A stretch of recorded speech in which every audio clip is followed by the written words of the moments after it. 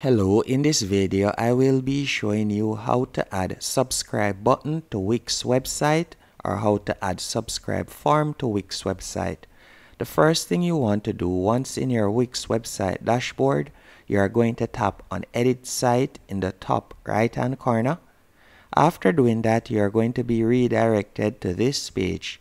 And from here, I want you to go over to the top left hand corner and you are going to tap on add elements.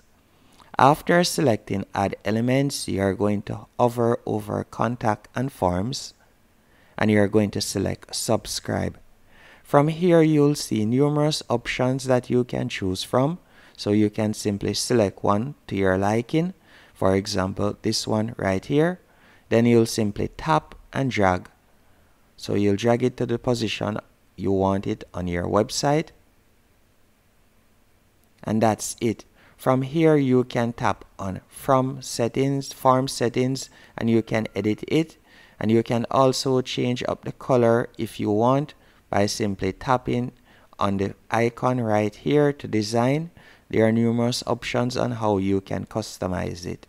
Hope you found this video helpful and informative. If you did, be sure to hit the like button and subscribe.